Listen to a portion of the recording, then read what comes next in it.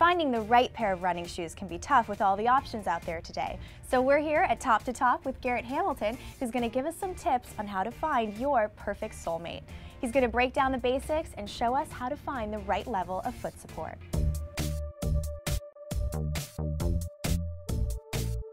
Obviously, the shape of your foot matters, but when faced with a wall of shoe options, what's the most important thing to look for? We can look at a couple of different shapes of shoes.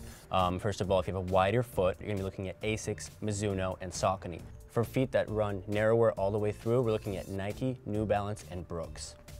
We hear the word pronate a lot when referring to running. What exactly does that mean? Well, to pronate means after we strike, when our full foot becomes flat from heel to forefoot touching the ground. Most people, about 90% of the population, actually overpronate. So if we look at this rocking motion here with your ankle and your arches collapsing, tells me that you do have some overpronation going on. We do want a moderate stability shoe just to lift you to this neutral position here. So does overpronation itself cause injury? It can, but by finding the proper running shoe out there, we can all fix our type of overpronation. We all overpronate at different degrees. When dealing with a running shoe, you've got three different types. You've got neutral, stability, and motion control. Stability shoe is going to have a medium amount of support right here in the midsole of the shoe. It's a grayer tint that tells you that it has a more dense material to stop pronation. Neutral meaning it has no pronation support at all. Motion control meaning it has the most amount of support. It's also important to have a shoe with a mesh upper, such as this one here. Provides ample breathability, also keeps your feet dry and blister free. So we've talked about the sole and what we need on the outside of the shoe. What about the inside of the shoe? The inside of the shoe is always going to come with a manufacturer insert. Don't be fooled by feeling the insert and believing that you might need more cushioning. This insert that comes with the shoe is the best possible insert for this shoe.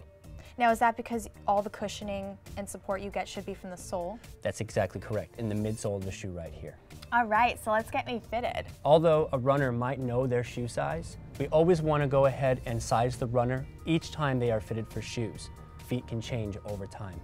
Why do we want to size a runner a half size up? We always want to make sure that there's ample room in the forefoot so the runner has enough room for their foot to expand. Okay. We do not want their foot to be touching the forefoot of the shoe, causing blisters. You want to go ahead and generally lace your shoes up, not too tight, just pulling the laces until they stop. We want to give the foot room to expand inside the shoe. Make sure your feet are not slipping out in any way, that there are not any hot spots, basically any areas of the shoe that are irritating your feet. Okay. We want to make sure that we check the tip of your shoe here, that your toe is not touching the end. These feel great. I can definitely feel more support. Awesome. Less pronation. My ankles feel really good. I mean, I think it's safe to say that finding the right running shoe is definitely an investment, but it's worth it. So you want to splurge on something with the right level of support, regardless of color, style, or brand. Happy running and see you next time on Fit Sugar TV.